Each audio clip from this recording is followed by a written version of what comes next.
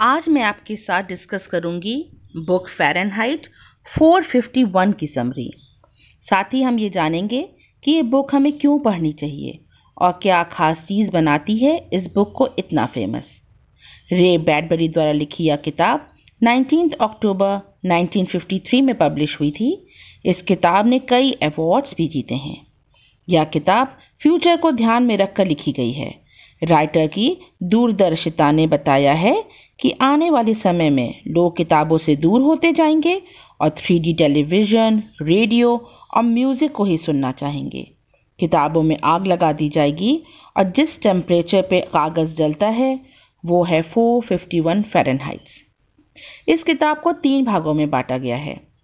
पहले भाग में हम देखते हैं कि इस किताब का जो हीरो है गाई मॉन्टैक वो एक फायरमैन का काम करते हैं। आजकल के नए ज़माने के जो फायरमैन हैं ये बिल, बिल्डिंग्स में आग बुझाने का नहीं, बल्कि किताबों में आग लगाने का काम करते हैं। नए ज़माने में सारी बिल्डिंग्स जो हैं वो फायर प्रूफ बनाई गई हैं।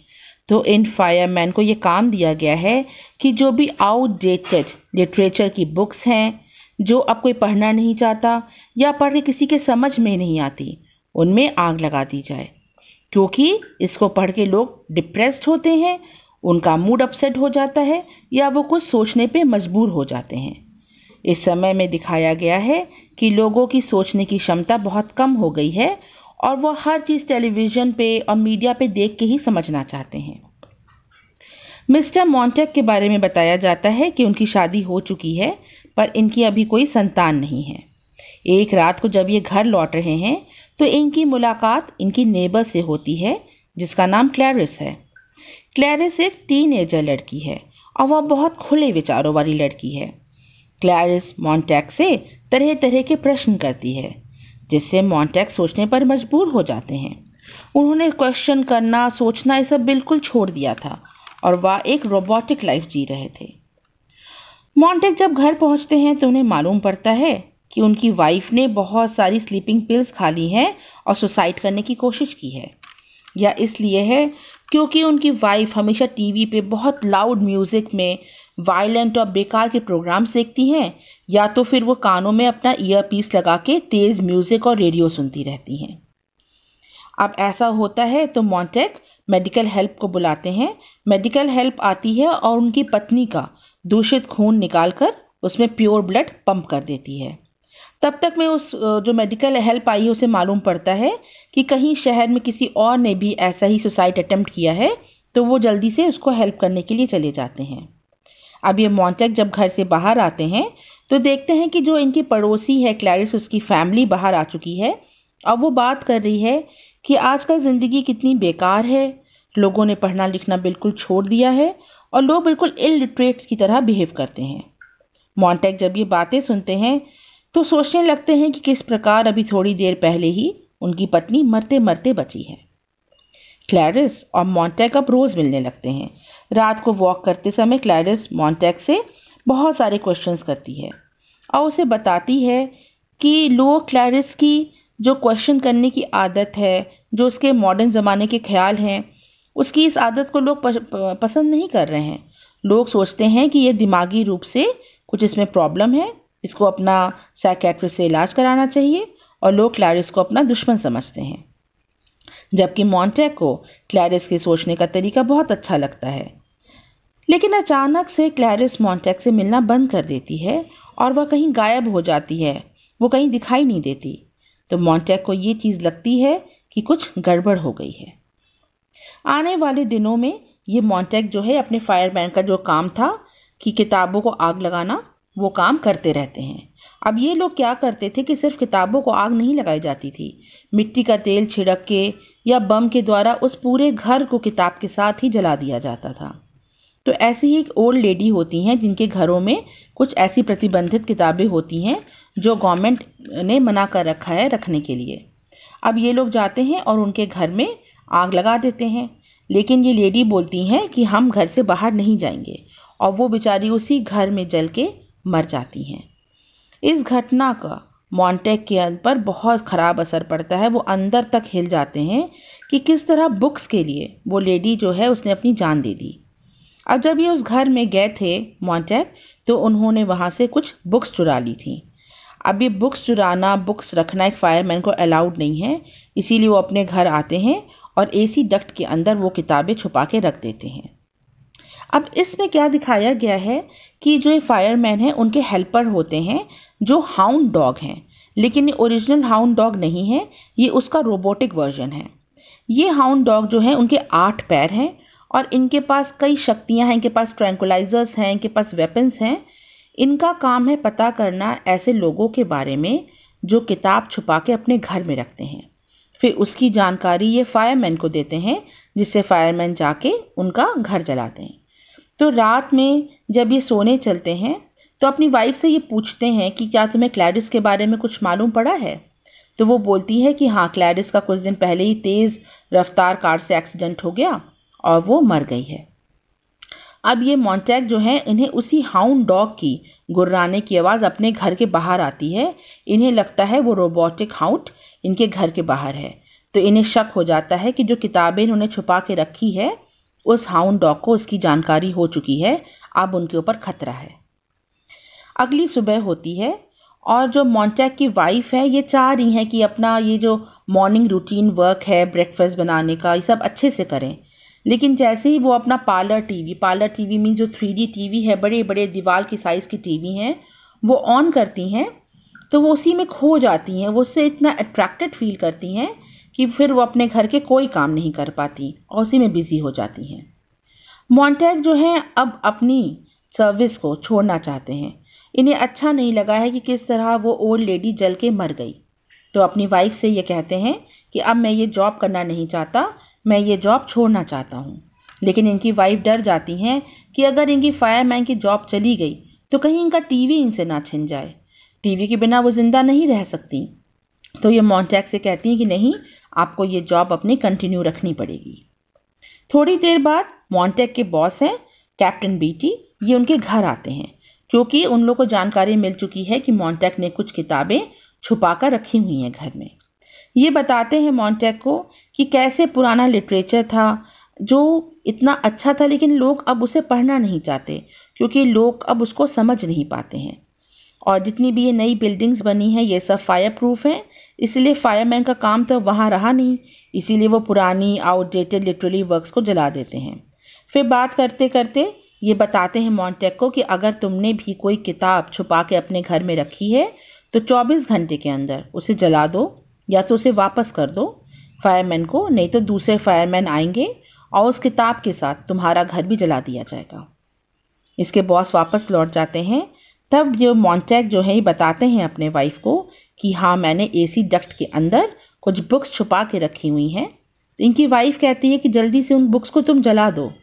लेकिन मॉन्टेक कहते हैं कि नहीं, हम लोग को पहले इन बुक्स को पढ़ के देखना चाहिए कि आखिर इसमें क्या लिखा है। यहीं पे बुक का सेकंड पार्ट अब स्टार्ट होता है। इस पार्ट में दिखाया गया है कि मॉन्टेक अपनी पत्नी के साथ वो किताब पढ़ना शुरू करते हैं। लेकिन ना ही तो मॉन्टेक को, ना ही उनकी वाइफ को कुछ भी समझ में आता है कि क्या लिखा हुआ है उस बुक में। उनकी वाइफ तो ये पढ़ना छोड़ देती हैं किताब। लेकिन मॉन्टेक सोचते हैं कि नहीं, उन्हें कुछ ऐसे क्वेश्चंस हैं उनके दिमाग में जिसका आंसर उन्हें चाहिए। जैसे कि, वो बूढ़ी औरत आखिर क्यों जल के मर गई अपने घर में? या क्लैरिस का एक्सीडेंट क्यों हो गया? या फिर उसकी वाइफ सुसाइड अटैम्प्ट क्यों करती है? और उन्हें लगता है कि ये जवाब जो हैं, ये बुक उनको दे सकती है। तो उन्हें अब एक इंटेलेक्चुअल बूढ़े आदमी की याद आती है, जिससे वो बहुत पहले एक पार्क में मिले थे। उस समय बुक्स पे ऐसा प्रतिबंध नहीं लगाया गया था तो वो उनके घर जाते हैं, उनका नाम फेबर है। और ये जो ओल्ड लेडी के यहाँ से बुक चुरा के लाए हैं मॉन्टैक उसमें एक रेयर कॉपी है बाइबल की, जो उन्हें समझ नहीं आ रही कि क्या लिखा है, इसमें क्या मतलब है। तो वही बुक वो लेकर मिस्टर फेबर के पास जाते हैं और उनसे रिक्वेस्ट करते हैं कि प्लीज़ आप मुझे बता दीजिए कि इस बुक में क्या लिखा है, मुझे कुछ समझ में नहीं आ रहा। फेबर डर जाते हैं, क्योंकि अगर वो पकड़े गए उस किताब के साथ तो उनकी जान को खतरा है।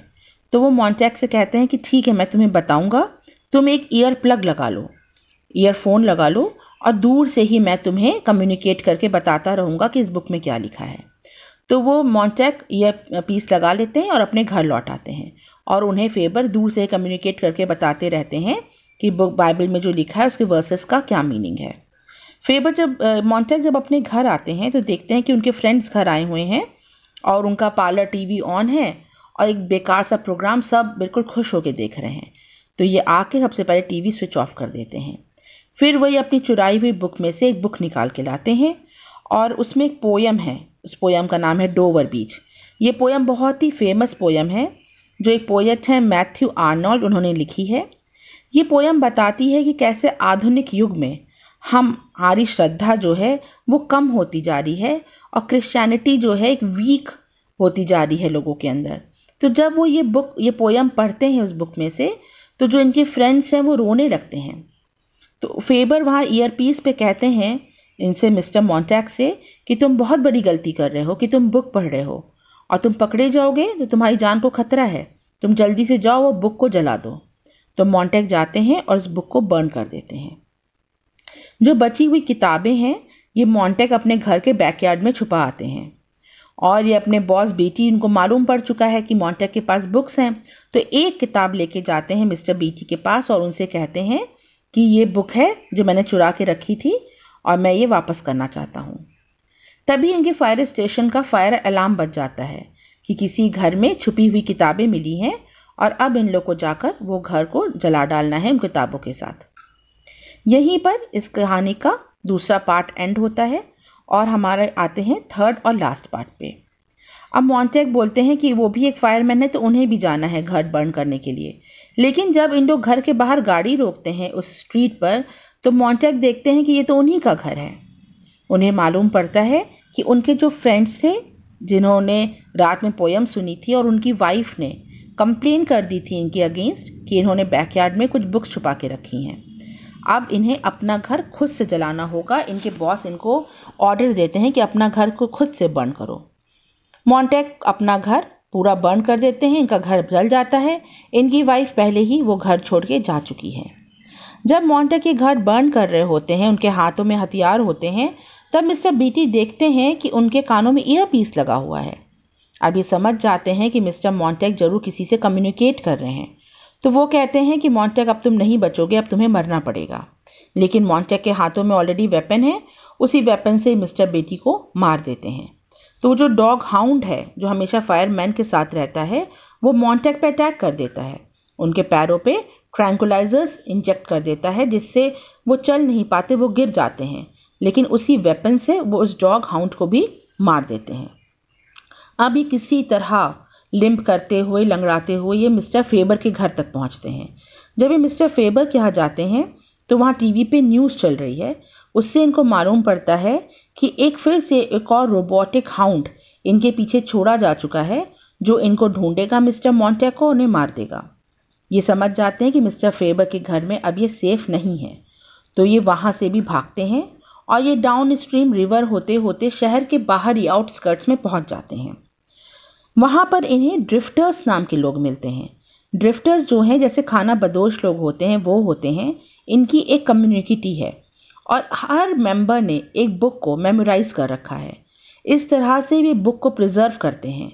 इन्हें मालूम है कि बुक जला दी गई हैं तो हर एक आदमी पिक्चर्स के थ्रू या जैसे भी वो मेमोराइज़ कर सकता है पूरी पूरी बुक मेमोराइज़ कर ली है, जिससे वो आगे की जनरेशन को ये नॉलेज पास ऑन कर दें। तो उनसे मॉन्टैक मिलते हैं और इन्हीं लोग के साथ वो बोलते हैं कि हम आप ही के साथ रहेंगे और आप ही से बुक की नॉलेज लेते रहेंगे। तब तक में इन लोग को मालूम पड़ता है कि मिस्टर मॉन्टैक को उस हाउंड ने मार दिया है, मार गिराए गए हैं। लेकिन मिस्टर मॉन्टैक तो ज़िंदा हैं। तो वहाँ पर किसी इनोसेंट आदमी को पकड़ के इन्होंने मार के मिस्टर मॉन्टैक का नाम लगा दिया है। मिस्टर मॉन्टैक इन्हीं डिफ्टर्स के साथ रहने लगते हैं। कुछ दिनों के बाद वहाँ पर युद्ध छिड़ जाता है। सुबह को ये युद्ध छिड़ता है और शाम को युद्ध ख़त्म भी हो जाता है, क्योंकि शहर पर न्यूक्लियर बॉम्ब गिरा दिया जाता है, जिससे पूरा का पूरा शहर जल के ख़त्म हो जाता है और सारे लोग मर जाते हैं। लेकिन क्योंकि मिस्टर मॉन्टेक ड्रिफ्टर्स के संग शहर से बहुत दूर होते हैं तो उस न्यूक्लियर वेस्ट तो उन तक पहुँचता है, लेकिन ये लोग बच जाते हैं, मरते नहीं हैं। फिर ड्रिफ्टर्स में से एक जो है इंटेलेक्चुअल वो बताते हैं मॉन्टेक को और सब लोगों को कि किस तरह से जो फीनिक्स बर्ड थी, वो ऐसे ही जल के मर गई थी और फिर अपनी राख से वो वापस से ज़िंदा होती है। इसी तरह से जो शहर है ख़त्म हो गया है जलकर, हम लोग को चलना है और इस शहर को रीबिल्ड करना है। तो ये सारे ड्रिफ्टर्स और मिस्टर मॉन्टेक ये आते हैं और शहर को रीबिल्ड करते हैं। यहीं पर ये बुक ख़त्म हो जाती है। अब हम आते हैं इस टॉपिक पर कि इस बुक में ऐसा क्या खास है कि हम लोग ये बुक क्यों पढ़ें? इस बुक के फ्रंट पेज पे लिखा है if they give you ruled paper write the other way ये इसलिए लिखा गया है कि अगर हर आदमी जो इस किताब को पढ़ेगा, उसका इस किताब को लेकर एक अलग इंटरप्रिटेशन होगा। 1953 से लेके आज तक जितने लोगों ने ये किताब पढ़ी वो हर आदमी इस किताब को अलग तरीके से इंटरप्रेट करता है। 1953 में यह लिखी किताब अपने समय से बहुत आगे की सोच रखती है। यह हमें विचारों की आज़ादी और अभिव्यक्ति को जागरूक करने की सीख देती है। आज के ज़माने में इनटॉलरेंस इतनी बढ़ गई है कि न्यूज़ चैनल पर और कितनी ही बुक्स हैं जिन्हें सेंसर कर दिया जाता है, या तो ऐसी बुक्स पब्लिश नहीं होती और पब्लिश होती हैं तो गवर्नमेंट ऐसी बुक को बैन कर देती है, क्योंकि उनका मानना है कि लोगों की भावनाएँ अराउज हो सकती हैं और लोग अपसेट हो सकते हैं या डिप्रेस्ड हो सकते हैं। लेकिन राइटर ने बताया है कि ऐसा समाज जो होता है, उसके अंदर बहुत आक्रोश छुपा हुआ होता है और ये बाहर रूप से एक खोखला समाज है और ऐसा समाज कुछ ही दिनों में ख़त्म हो जाता है, जिस तरह से इस किताब में अंत में वो सोसाइटी एंड हो गई। आपको इस बुक का रिव्यू कैसा लगा, ज़रूर बताइएगा। और ये बुक अगर आपने नहीं पढ़ी है तो इस किताब को एक बार ज़रूर पढ़ें। Bye for now